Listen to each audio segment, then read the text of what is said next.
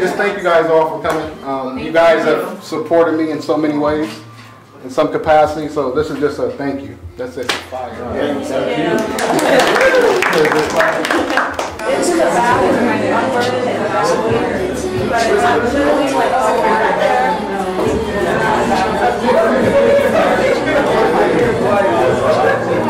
And I said, you know what? I cannot be late.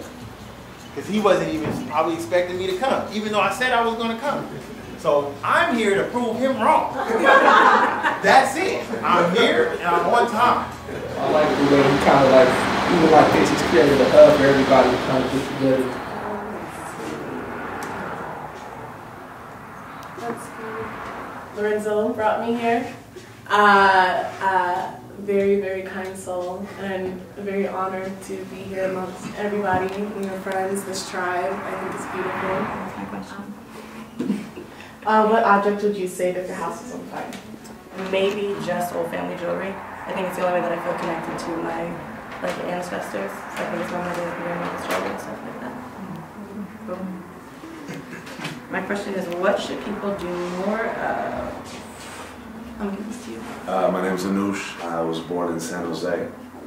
Grew up in Cupertino. Moved around to the valley, to Orange County, back up to LA. Met this beautiful soul through a mutual friend.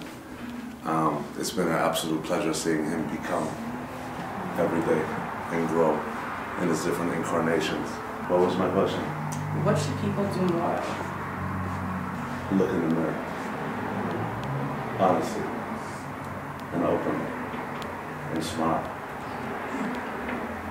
Yeah. What's up? Mama. Mama. Uh, mama, we made it.